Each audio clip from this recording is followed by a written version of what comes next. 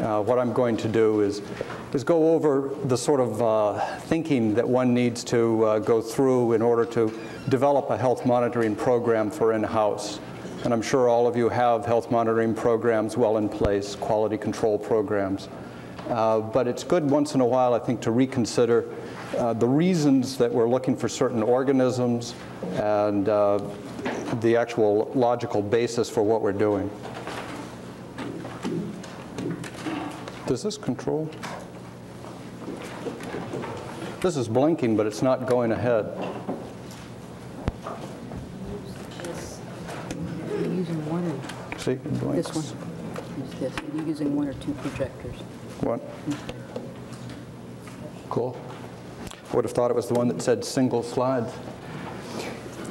One of the reasons that we do health monitoring or quality control is to try to uh, assess the background variation. And that concerns us because the ideal research protocol is one that would seek to eliminate all uh, variables except the one that we're studying. Therefore, any difference between experimental groups would be due to our experimental manipulation and not to any extraneous variables. In reality, this is really very difficult to achieve. Uh, there are many types of variables that we can experience uh, or that can interfere with our work, uh, increasing background variation. I think one that a lot of people think of initially is genetic variation. Uh, are the animals the same as they were six months ago? Are the animals from one source the same as another source? Uh, is that, are the differences between one individual and the next uh, the result of genetic variation as opposed to other uh, uh, epigenetic factors. There's certainly a variety of physical factors that can have a role. Uh, I think we all know as laboratory animal veterinarians and pathologists that uh, stress, temperature, uh, many things can influence the can influence research. Chemical variations, certainly ammonia, pheromones, and primarily what we're going to focus on here are microbiological factors, uh, which are in essence the, uh, the basic reason that we do a health monitoring program.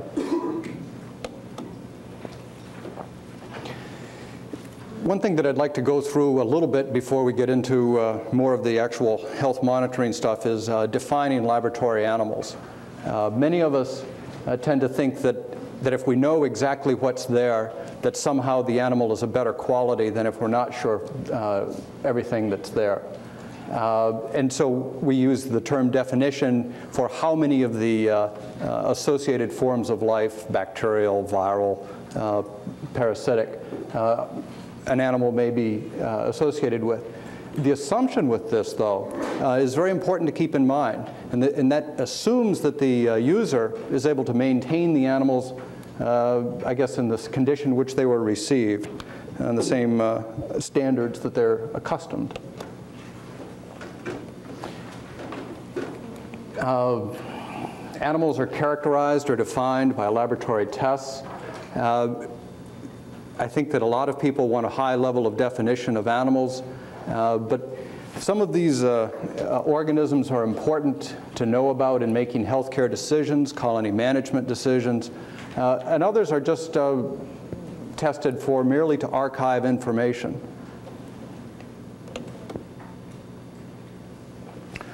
Well, one status of uh, defined laboratory animals would be axenic, uh, meaning nothing foreign. And it refers to animals uh, generally derived by cesarean section, although embryo transfer uh, certainly could do it. they need to be maintained in isolators. It implies they are free of all associated forms of life. In practice, we know that they're going to have uh, endogenous retroviruses. But uh, the term axenic implies that they're free of everything. If they're not axenic, uh, they may be associated with a defined flora. This refers to axenic animals where you give them uh, a certain number of microorganisms and then maintain them uh, under conditions so that you know everything they have. And these would also be animals that are, that are called gnotobiotic. Gnotobiotic would be either axenic or animals where you know every organism uh, with which the animal is associated. An example of that would be just taking an axenic animal, uh, giving them some sort of uh, microbial cocktail such as these eight organisms, and then having uh, one that we would refer to at Charles River as the crass flora. there's a big difference between Gnotobiotic and SPF. And I think in uh, principle, we all understand the difference, but that a lot of the time on day-to-day basis, we tend to forget. SPF does not mean that you know everything the animal has. It refers to animals that have no evidence, usually based on some well-defined clinical tests, uh, of the presence of certain microorganisms. Uh, it should be related to a specific list of organisms. Nobody should ever assume that an animal is free of something that is not on the list. And it also needs to be related to a specific set of tests or methods to detect the organism. For example, atrophic rhinitis in pigs. You can buy pigs that are SPF uh, with one of the P's of which they are SF being uh, the agents of atrophic rhinitis. But that's measured by, uh, or determined by actually measuring the uh, space in the turbinates and not finding more than a certain distance on so many out of so many pigs. Uh, it, it's a very relative thing. Uh, with, even with serologic tests, uh, there's some variation in results that may or may not affect the status of the animals. And uh, just VAF is, is, for example, one kind of, uh, of SPF animal. Uh, and the name uh, refers to a particular list of, of, of viruses uh, and implies that they're free of certain bacteria and other organisms. But as with any SPF uh, definition, it does not indicate that they are free of opportunistic bacteria. It also does not uh, indicate that they are free of anything that any viral agent that isn't on the list. So now back to the, the basic question, why are we doing health monitoring? Uh, one of them, of course, the basic reason is that clinically ill animals, whether they get ill during the experiment or before, uh, will not respond reproducibly. I mean, I think we all understand that. And, and I'm sure that we all also understand that certain latent infectious agents, uh, which don't make the animal clinically ill or visibly ill, will still uh, interfere with um, uh, the research results. For example, Syphacia can interfere with uh, adjuvant arthritis, and Sendai and MHV can interfere with immune function. And um, that goes on and on. And at the back of the handout, there's a list of, uh, of different agents and some of their research effects. But I'm not going to go through and catalog all of those during this talk. So we know we need to do it how are we going to go about developing a health monitoring program? Uh, what components should be in it? What should we be looking for? How should we be looking? Uh, in the past, uh, when I was a resident, the basic approach to uh, uh, health monitoring seemed to be diagnostic. Uh, might look for a few agents, but basically nobody got very concerned unless the animals appeared ill, unless somebody said, you know, these darn uh, rats or whatever just aren't acting right, I'm not getting good results, and then you'd check into it. And the other side that's done much more uh, these days, and is certainly appropriate in uh, most situations, is a routine health monitoring uh, program. And these principles would apply to rats, they would apply to uh, non-human primates, pigs, uh, to any laboratory animals, where samples are routinely taken and examined by well-defined tests for a specific list of agents. So the goal of a screening program is much different than the goal of, a, uh, of clinical uh, diagnosis. Our, the goal is to detect the presence of an organism in a group of animals by detecting the presence in at least one animal. If you find it in one animal, you know the group is positive. And as a result, it's not as important to be 100% sure on each individual sample. If you're looking at multiple samples, you can get a very high uh, statistical degree of confidence by repeating it again and again. Uh, an example of this might be uh, serologic testing for herpes B infection in uh, non-human primates. I've heard uh, that the uh, sensitivity of the test may only be 50%.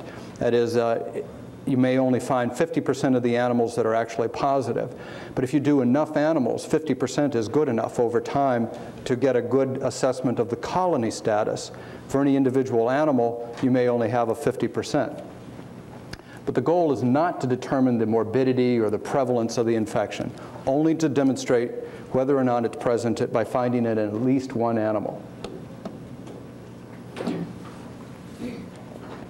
So in thinking about what we're going to be looking for, I think one of the first uh, considerations may be whether or not it is a primary rodent pathogen. Uh, as a pathologist myself, and I, I, know many of you are pathologists, it's disappointing how few viruses really cause any good disease. Uh, most of them tend to be subclinical. But a primary pathogen would be one that is capable of causing epizootic infection. It would be one that could produce some very direct or indirect evidence of its presence, and on a significant portion of the population, not one in 10,000 like uh, TEMV or one in a 1,000. Uh, infection would produce clinical or histologic disease in a significant portion of the population. And as a practical matter, it's important that rodents be the primary or preferred hosts. And that uh, comes down as a practical matter when we're looking for something. Second thing you might want to consider is has the pathogenic potential of an organism you're considering looking for been adequately established? Many organisms are opportunistic. And I think most of the, uh, most of the bacterial disease that we see, uh, perhaps even most of the uh, time when we see clinically ill animals from viruses, it may be an opportunistic infection. Uh, Staph aureus is virtually ubiquitous. It's carried by people, it's, it's, it's on animals, it's everywhere. And yet, once in a while, it will cause some problems. You want to consider that host factors may be very important in uh, determining the pathogenic potential. Uh, it's generally, though, um, again, disappointingly difficult or frustratingly difficult to evaluate the pathogenic potential of many organisms because many case reports are all, the, often all that's out there, and very often they lack key elements to assess the pathogenicity of a given organism. So what are the uh, key elements that we should find in a case report? Uh, it would be nice that there was isolation and complete identification and serotyping of the organism as far as necessary to actually establish that a particular organism, perhaps even a particular strain, was present. Uh, there, are, there are many biotypes of uh, Citrobacter freundii, but only biotype 4280 seems to have any pathogenic potential. And it would be quite uh, similar for uh, uh, E. coli and, and many other organisms. Uh, serologic and culturing procedures should be documented in this to exclude other agents. And I think we've all seen a lot of instances in the literature where somebody uh, finds a, uh, an abscess or finds a disease uh, in an animal. They isolate a particular virus or a particular uh, agent, and, and then from that, claim that it's pathogenic. an example here recently would be CAR bacillus uh, where the initial report of it said uh, in 78 out of, uh, we're describing a, um, an outbreak in the Netherlands in 78, said it was unknown whether or not the, the bacillus had any role in causing the disease at all. Uh, about three case reports later, or four case reports, they'd never found it in an, or, in an animal that didn't also have uh, mycoplasma or sendai or something like that. And by then it was being claimed to be a, a, a clearly established serious pathogen. Since then, the pathogenicity of CAR bacillus has been established. But, but for a long time, it was being carried along only uh, guilt by association. It's good to see that a gross and histopathologic exam was done uh, not only for employment security, but uh, it's, it's nice and uh, if, if the research isn't working and you find serologic evidence or cultural evidence of something, it's good to look and see that the uh, organism responsible for the uh, uh, adverse or, or, unusual research effects might have had some morphologic alteration. It's good to evaluate other host factors. Uh, at least one of the CAR bacillus papers described it in um, diabetic animals. Uh, well, that uh, might mean that it has an opportunistic uh, role but wouldn't establish it as a pathogen by itself. I guess the bottom line is that in order for these reports to, uh, to really establish the pathogenic role of any agent, uh, they really need to fulfill Koch's postulates. And, and I've been using CAR bacillus all along. That has been done uh, with CAR bacillus at this point. But Koch's postulates do need to be fulfilled. If, um, just as, a, as an aside, I think that it's worthwhile printing uh, or publishing uh, reports of unusual organisms that can be associated with lesions, uh, sometimes even when Koch's postulates cannot be fulfilled. But I think in those cases it needs to be very clearly stated, uh, you know, in the discussion or somewhere in the paper that uh, the uh, pathogenic role of the organism could not be firmly established because Koch's postulates were not uh, fulfilled. You want to look and see if the agents that you want to look for have any established effects on research. Uh, obviously, clinical signs or dead animals are one effect, and, and those could uh, interfere with, with research, but it's also good to look and see if there's any documentation of additional effects. Uh, such as chronic uh, pulmonary inflammation from anything, can then interfere with uh, bronchial responsiveness uh, to a variety of challenges. It's good to look if there's an interaction in an established way with any metabolic, immunologic, or physiologic processes. And then these results or effects should be adequately described in peer-reviewed literature. This all seems so basic, it all seems so common sense, and it's really very hard to find for very many uh, agents uh, in laboratory animal medicine. Other considerations, uh, certainly if something is uh, ubiquitous or at least very widespread in the environment, such as Staph aureus, uh, doing uh, looking for it in particular uh, might be less important, uh, might be less meaningful. Uh, you might want to consider whether agents you're looking for are commonly associated with normal human flora. Uh, I've seen estimates as high as 70 or 80 percent of people uh, will carry strep in their pharynx. this means that it would be very difficult to exclude strep from any animals that have any contact with humans. And wearing masks is, is good and all that, but uh, one good cough or sneeze can uh, certainly blow around that. So we thought about all these things with a bunch of different agents. Uh, first thing we're going to be looking for are those agents where we know they have significant disease-causing potential or where we know they have some known interference with research. We want to look for things where there's a high probability of detection or where we think they might have a high prevalence in the population. An important consideration is that they might have good potential for exclusion. We could look for endogenous retroviruses, uh, but we can't get rid of them, so what's the point? Uh, it's good to look for things that are of importance to the research community, and obviously we have to consider whether or not there's any zoonotic potential. Um, I, and an example of that would be with uh, hantaviruses. To my knowledge, uh, there's never been a report, uh, or very few reports, at least in the continental United States, I don't know of any, I think, uh, of hantavirus uh, in laboratory animals, found serologic positives in wild-caught animals. Uh, some related viral strains have been picked up, I think, outside of the continental United States, and certainly serologic positives have been found in other countries. But even though it's never been found, or even though the uh, probability is exceedingly low, I think the political realities are that we, uh, it is an important agent to, go in, to include. After we've uh, in, put on all the primary agents, we want to probably include some opportunistic. Uh, these would be ones that are, tend to be common in the environment of laboratory animals and humans, uh, strep, staph, tend to have a very low disease incidence, even though they might have a very high prevalence within the population. Uh, they tend to have a high latency potential, uh, very typical for opportunistic bacteria, uh, and are likely to have potential human carriers. So for these, although they may need to be excluded uh, dealing with some such as Pseudomonas, uh, staph, and dealing with immunodeficient rodents, exclusion really is only possible if you eliminate all human-animal contact. And then it may be necessary to include some miscellaneous organisms. Uh, these would be things that could be recovered by culture, uh, but they either have a limited or non-existent or uh, at least undocumented role uh, as opportunists or pathogens.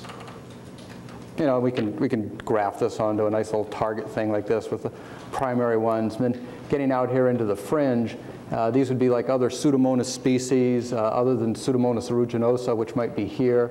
It would be other, uh, there would be other types of Citrobacter, completely unknown significance. Uh, and there's very little financial justification to include them in uh, what can be a costly health monitoring program. So we have some idea of what we're going to be looking for. What are the actual physical components of a uh, health monitoring program? I think we need to do a complete postmortem examination. Uh, every animal should be examined grossly. Tissues are generally collected uh, a lot of the time now based only if there are gross lesions uh, present. Uh, a lot of the time screening uh, normal appearing tissue uh, in parallel with doing serology, parasitology, and uh, microbiology is a very limited benefit. Places with uh, sufficient manpower may occasion to do this may occasionally find something. Histopathology, I think, is, I think is extremely useful. Uh, I think we get so focused a lot of the time on serologic diagnosis of the disease uh, that we forget that serology is a series of yes-no questions. Uh, microbiology can, is more like asking, is, will anything grow on this particular media? And histopathology uh, is more asking, is there anything going on in the tissue at all? So it's much more open-ended. It's less likely to give uh, a very specific result, but it's much more open-ended question. However, it takes a lot of time, uh, sometimes in the weeks, and it can be uh, very expensive. However, uh, in um, routine health monitoring, probably wouldn't want to do histopathology. Gross examination is good. Uh, remember, it takes a week or more for animals to seroconvert to a virus. In general, we find that uh, uh a, a, week is sufficient. If uh, had an outbreak, say, of SDA or something like that, that uh, within a week will start picking up seropositives. but histopathology is diagnostic, and it's diagnostic much quicker. If, if you're having an epizootic, don't know what's going on, obviously histopathology can help point in the right direction. Some agents are not uh, able, to be detect, able to be detected by uh, serologic or cultural means, and uh, histopathology is, is excellent for that. Uh, certainly for nutritional or metabolic or toxic diseases, uh, culture and serology will never help you diagnose uh, scurvy in a guinea pig. Uh, it's probably the only way of determining the incidence of age or strain-related diseases. And if there's any doubt about uh, the results of some other tests, such as uh, serology for CAR bacillus, bacteria in general, or antigenically magnitudes more complex than viruses, uh, in general tend to, to give more false positives. And so uh, histopathology to confirm CAR bacillus infection or Tyzzer's disease uh, is usually recommended. Complete health monitoring program will include microbiology. Uh, we use a combination of general and selective media to get primary isolation. Uh, basically, when you've constructed the list of the agents that you want to be sure to screen for, you just want to be sure that you're using the appropriate media and uh, culturing the appropriate site and from the appropriate age group of animals. For example, Citrobacter freundii uh, really is only possible to find it in the very young animals. Uh, once primary isolates are found, uh, they need to be further identified.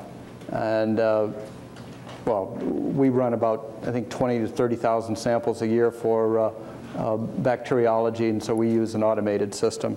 But uh, depending on your needs, that may not be necessary. Parasitology. I'm very sorry to have missed Dr. Gardner's talk yesterday. Uh, he's an excellent parasitologist, and, uh, and, I'm sure would have much to contribute on this. Uh, unfortunately, the uh, literature is relatively deficient in recommendations for what is the best overall screening method uh, from a health monitoring perspective uh, for laboratory animal parasites. And so there, there, are many methods that can be used uh, in looking for internal parasites.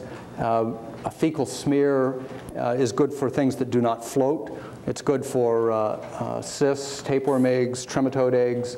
Uh, fecal flotation is good as a concentration method for, for eggs that will float.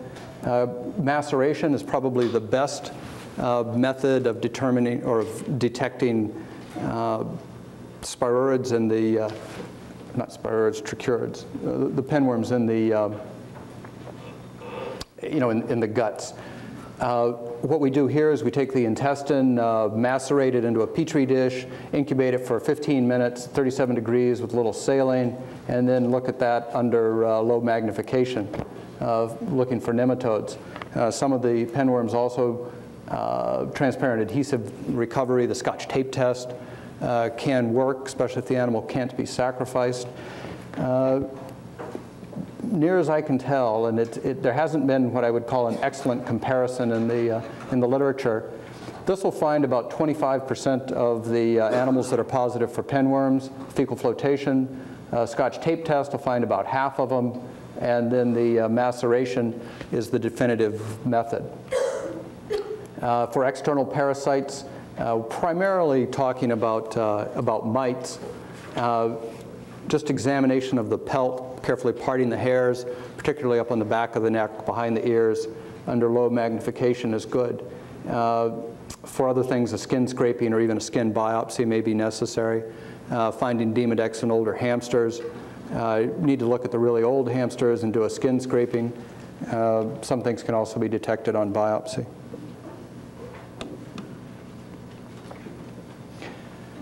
Um, getting into actually looking for viruses, uh, most of the time we use serology. And part of the reason that we use serology is that agent isolation and detection that way is just not very practical.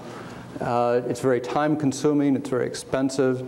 Uh, and in, with most of the agents, they're only present for a few days before they're cleared. So you have to look while the virus is still there. You have to have the right cell lines available. And because sampling isn't always successful, and because of these other reasons, even if you don't find it, it doesn't mean anything.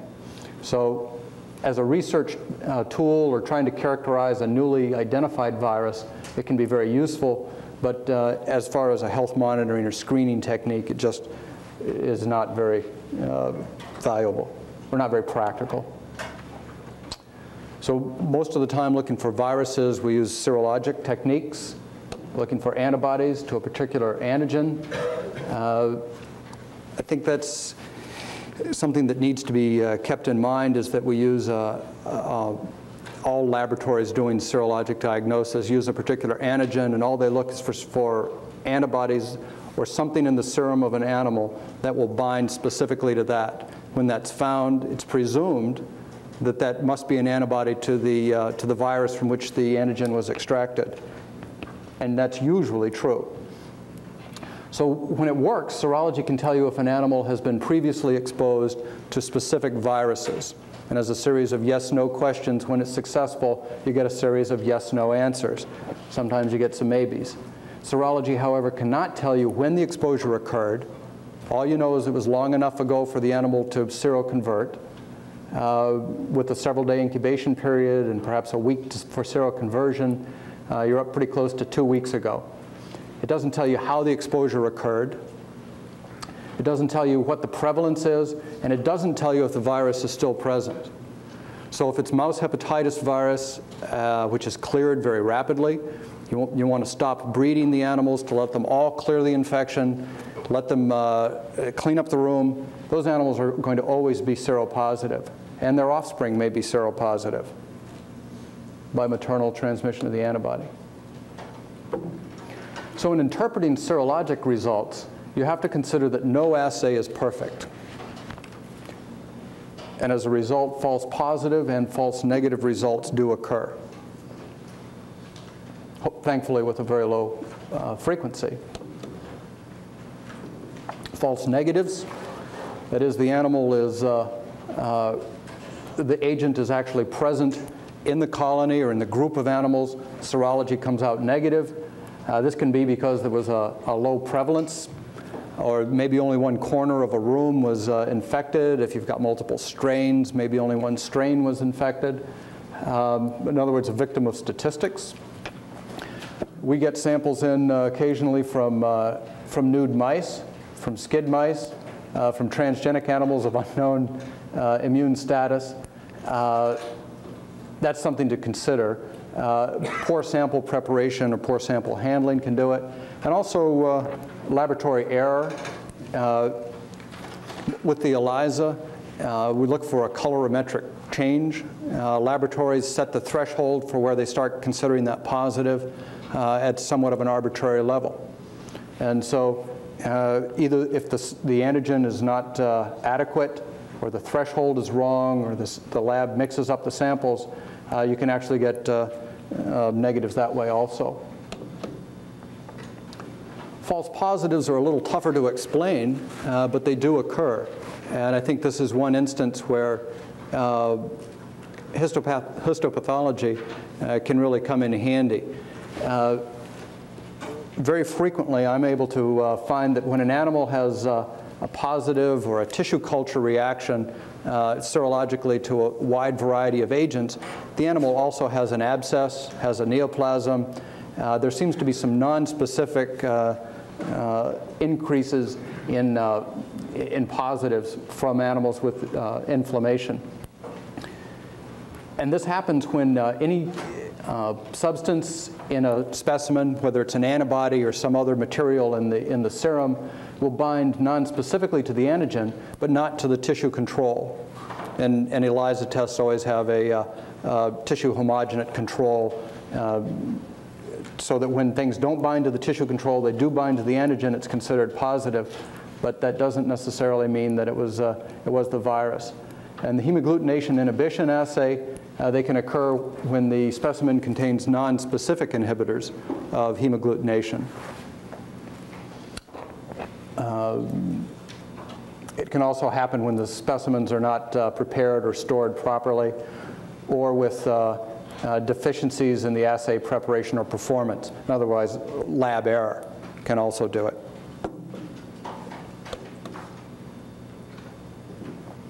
So when you find positive results, uh, whether bacteriologic or uh, serologic, uh, I think it's always good to confirm them.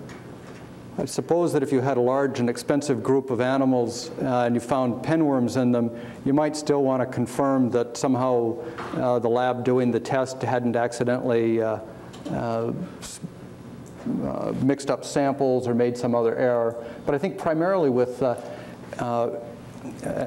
serologic testing or in looking at immunodeficient animals for opportunistic agents, it's very important to try to, uh, to test additional animals. Uh, so, for example, if you have a group of SCID mice, it's necessary to maintain them free of Pseudomonas aeruginosa, or you don't want Proteus, you don't want uh, staph. You find one of those uh, on health monitoring, that may be a bench contaminant. So you want to test additional animals. If possible, you want to look by alternative test methods. So if, a, if you have a positive on an ELISA, it's good to follow that up with, uh, with an IFA or an HAI uh, to try to confirm the results. Uh, frequently, however, the same sorts of things that will cause a false positive on ELISA will cause the same sample to be false positive uh, by the alternative test methods. And finally, Sometimes it may be uh, necessary to try to isolate or detect, a, uh, use other methods, uh, such as um, in situ hybridization or something, to uh, detect a particular agent.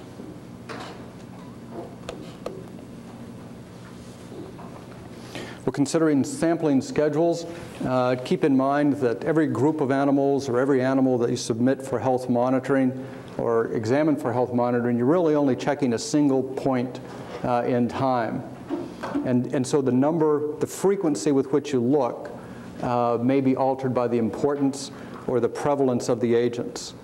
Uh, in other words, with, with hantaviruses, uh, it's unlikely in any given facility or any given room that that's going to be the first ever reported outbreak of a uh, hantavirus. And so you might want to, uh, if you're trying to conserve money or something, not look quite as often for that as something that has a very high probability of getting into the room. And certainly if something is going to have a great influence on your research, you may want to look a little more close, a little more frequently than for something that's only of marginal concern. You want to consider the physical factors, uh, such as the construction and integrity of the facilities. Uh, many facilities are not capable of uh, a high degree of exclusion. Uh, many times there are animals and biological materials such as cell culture lines that are brought in and out all the time. If that's the case, you may need to look more frequently. Uh, may want to sample every group of new animals coming in, may want to sample uh, from a sentinel program within a particular room uh, more frequently. May want to test the biological materials uh, themselves. Economics play a big role in investigator requirements. Uh, the number of times that you have investigators in and out of a facility, or if those investigators as uh, are visiting other facilities that may not be of the same microbiologic uh, status as your own, uh, you may need to uh, alter the schedule somewhat. Sentinel animal programs, these are particularly good for uh, uh, when the population in question cannot be directly sampled such as nude mice, such as animals on a two-year study, you may not want to uh, uh, keep the, uh, the same animals around that long. You may want to use sentinel animals uh, instead in those rooms. Uh, the, but the sentinels should be similar to the population in question. It's very important that they be immunocompetent. They must be housed in a way that is going to maximize the chance of finding a positive sentinel should something actually get into the room. And so what we recommend is that they be housed either in the same cage or in an indirect association with the population you're monitoring. They should be spread around in the room. They should be put on the lower shelves or racks, so anything kicked out of the top. Uh, remember, even uh, uh, particles from a cough tend to settle very quickly if they're larger. And uh, many times it's the larger particles that tend to have the most virus. Uh, oftentimes sentinel animals will be uh, housed with soiled bedding from cages in the population that, they're, uh, that you're monitoring. In general, sentinel animals should be at least 8 to 10 weeks of age. Uh, they should be, uh, so they're Im immunocompetent or fully competent. Uh, the gender of the sentinels is not critical. Importantly, and I think this sometimes is forgotten in the rush to set up an excellent Sentinel program, it must come from a colony that doesn't have the things that you're going to be looking for. You also have to wait an adequate length of time so that you have a high probability of knowing that the sentinel animals have been exposed to anything in the room, the incubation time has elapsed, the animals have been infected, and then seroconverted. And in general, you want to wait at least four weeks for this.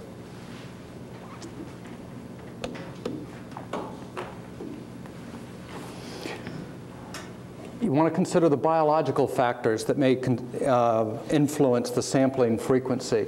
Uh, these can be the time from infection to shedding. I think uh, we all know this is important with pinworms. Uh, it can also be important with other bacteria. You need to wait time for an antibody response. Uh, you need to consider the rate or method of spread. Uh, I keep going back to CAR bacillus. Carbacillus is, is not highly uh, or very rapidly transmissible, and so it'll spread more slowly than uh, something like MHV uh, within a room. If you're looking for effects other than uh, serologic or seroconversion, may want to wait the time for the maximum morbidity. Certainly it's good to wait uh, long enough uh, to be sure that it's uh, reached its maximum prevalence because the whole uh, numbers game of how many animals do you look at is based on uh, trying to find at least one animal that's positive. And in all this, you really have to balance the costs against the uh, direct or indirect value of the animals and the degree of confidence that you're willing to have. If you have a 95% confidence with every month's testing, then over time, you know that your colony has really been negative on and on. So there is some sort of accrual of, um, of confidence with time, and that's not reflected in the, uh, the basic formula, the ILR formula. And that brings us to the ILR formula. Remember, if it moves, it's biology. If it changes color, it's chemistry. If it does work, it's usually a pathologist. And if it puts you to sleep, it's statistics. Well, this is the ILR formula, and I'm- probably everybody has seen this a number of times. Uh, It's the log of 1 minus the confidence level that you're looking for, divided by the log of the prevalence. It says incidence, it's actually prevalence. And that'll give you the number of animals to be sampled. So if you only need a 90% uh, confidence level, you only need a 0.1 there.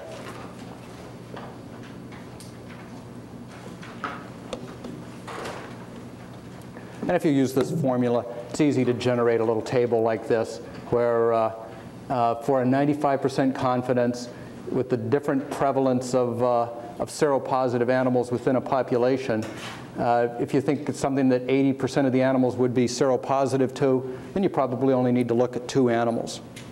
And in general, most of the viruses uh, that we do serology for tend to have a very high prevalence.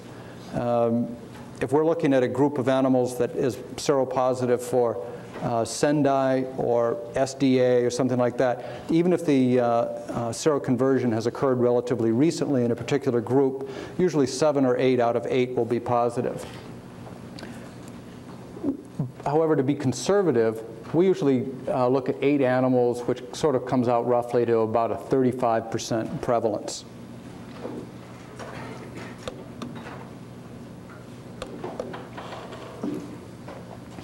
With all statistical formulas, there's, uh, there are some assumptions. Uh, with this, most of these assumptions uh, refer to uh, uh, one sample being one individual animal having the same chance of being positive as the next animal. So that if you know there is a, you have 100 animals, there, you assume there are 35 that are seropositive, you don't want the chance of the next one being positive to be changed by uh, removing the first couple animals. Uh, it assumes that the agent is randomly dispersed. In other words, every animal has an equal chance of being positive, and that sex or other, other factors that you might uh, uh not be controlling for in your sampling don't alter the incidence within the group. It also assumes that you know the actual prevalence of seropositive animals. And although I can say generally it's very high, uh, many times for some, and for some agents, you don't really know what the, what the incidence will be. It also assumes that the testing is 100% accurate. The last one is relatively easy to control for. If you think your testing is only uh, 90 or only 50% accurate, you just do twice as many animals. It's a very simple linear relationship between the number of animals you need to look at and the, uh, uh, the accuracy of the test. We recommend that at least two age groups be sampled, uh, retired breeders and young adults. Uh, retired breeders are more likely to have false positives, but with some agents, uh, particularly those uh, that are persistent, uh, they are more likely to be uh, uh, seropositive, such as mycoplasma. some viruses tend to affect animals several months into life instead of weanlings or neonates as we usually think. Uh, some of the parvoviruses, for example, might be more likely to be positive in the older animals. However, you don't want to, a disadvantage of waiting for the, all the older animals is uh, uh, well, anyway, you want to look, look at some young ones also. So if you're looking for multiple agents, you want to base the number of animals you're going to be looking at at what you think the lowest uh, morbidity is. In other words, which, which agent is going to have the lowest prevalence in the room. We look at eight animals, recommend eight, uh, based on about a 35% uh, assumed uh, prevalence of seropositive animals. Uh, six weeks is, uh, seems to be a good starting point for this. Uh, six-week intervals, look at them every six weeks. The, um, you can go through all of the, if you notice this, you can go through all of the reasons on why you're going to do things, how you're going to build this program, and then when it comes down to it, you just pick some arbitrary things. Uh, eight animals is based on a 30 to 35% morbidity. That's probably actually low. Uh, six-week interval, uh, this is, for most people, a good balance between uh, financial considerations and the chance of something actually getting in. Instead of looking at eight animals every uh, six weeks, it might be better to look at four animals every two weeks. you'll be looking at more animals, but it'll also uh, uh, give you a little more frequent monitoring of something that might have a higher incidence.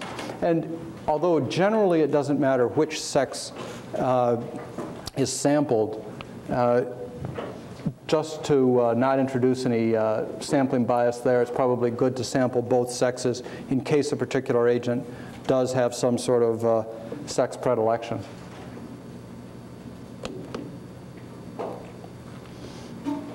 Usually the uh, screening tests that are run are, are grouped together.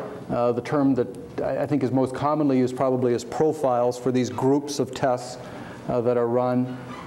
So you can have different levels of them for serology. Uh, we term them tracking assessment and assessment plus, but it basically is just a, a, a, small group of the agents that is most likely to be introduced, a little more extensive list, and then uh, pretty much everything that we have a test for.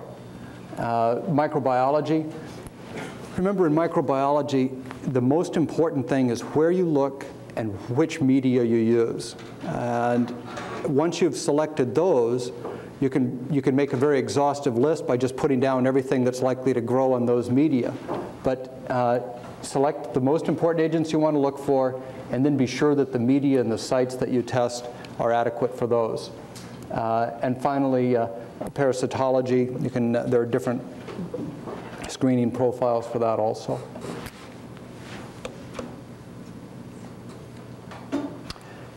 Usually we don't uh, routinely look at uh, uh, do histopathology. Some special screens may be uh, helpful at some times. Uh, clinical chemistry, certainly for the LDV, uh, lactate dehydrogenase elevating virus.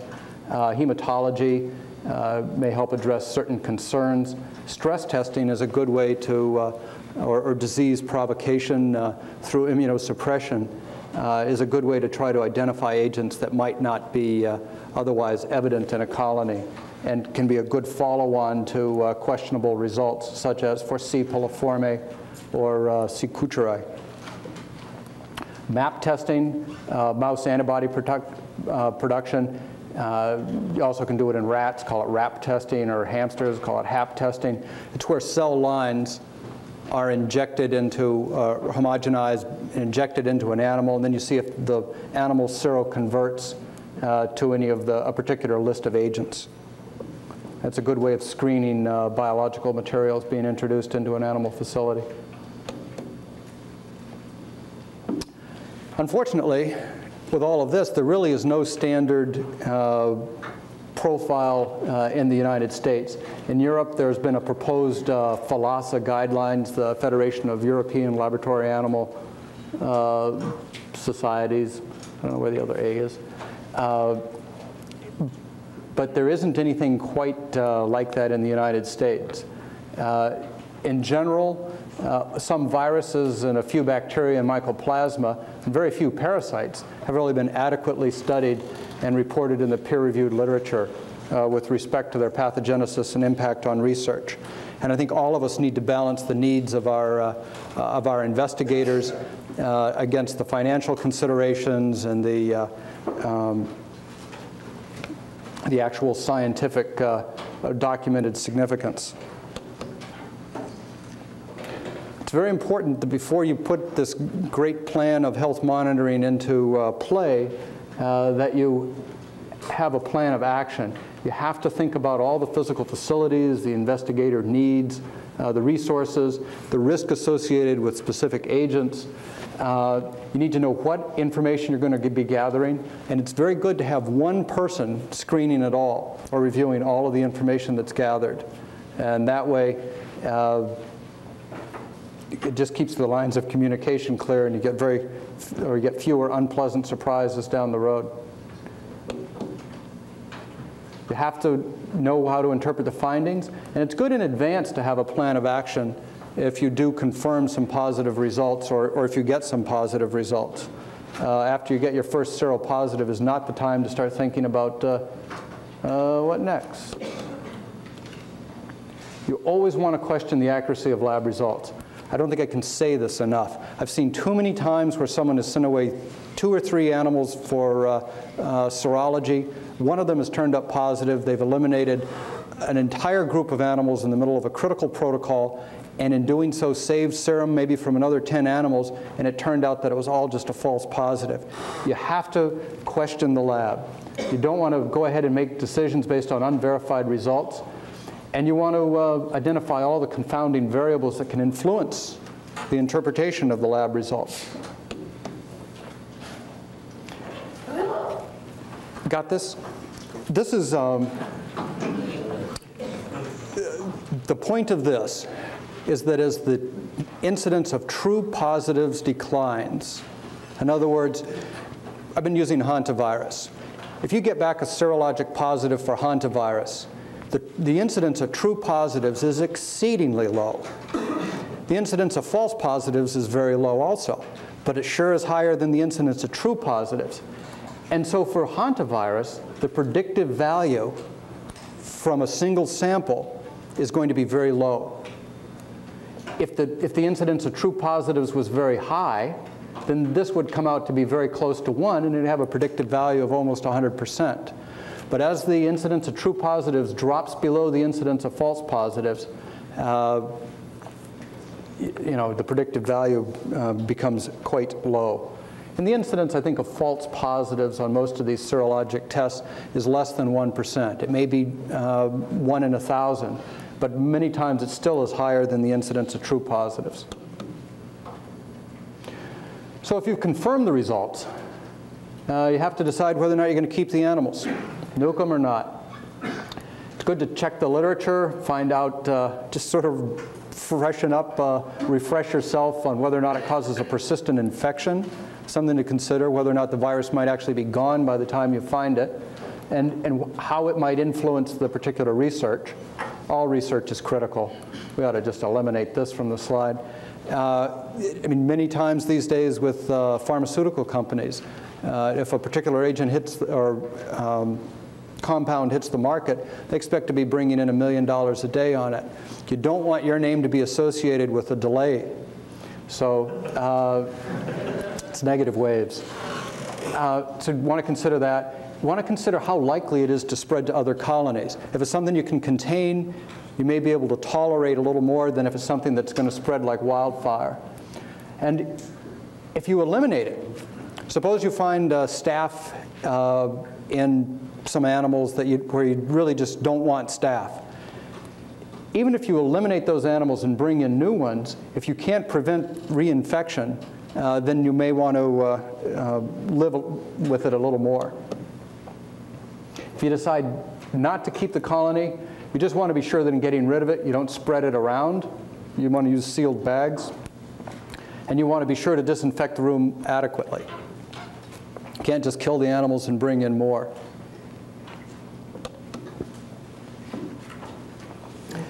In general, people don't keep the uh, colony if the agent they find is zoonotic. Uh, many of the viruses in particular seem to have immunologic impacts. Uh, if you're doing immunologic research, may be more likely to be of importance, uh, if it, or if it hits the organ or tissue that's the target of your research. Uh, agents that cause a persistent infection uh, may be of more impact, particularly if you're using uh, cell lines. You don't want to get a persistently infected cell line. And obviously, if you can't prevent it spreading to other uh, rooms in your facility or to other colonies, that may be a consideration. However, if you, if you decide not to keep the colony, uh, you want to take action to prevent it reoccurring. The best way is to know where it came from. Consider all the possibilities. Uh, you want to consider that it may have come from the vendor. It may have been uh, introduced in transit or wild rodents or contaminated materials. If they show up with a viral infection, though, unless they've been in transit a long time, they didn't get it in transit. Uh, if they get a viral infection three weeks after arrival uh, and actually develop clinical signs from it, it may not have come from the vendor. Want to improve facilities and procedures to be sure it doesn't happen again.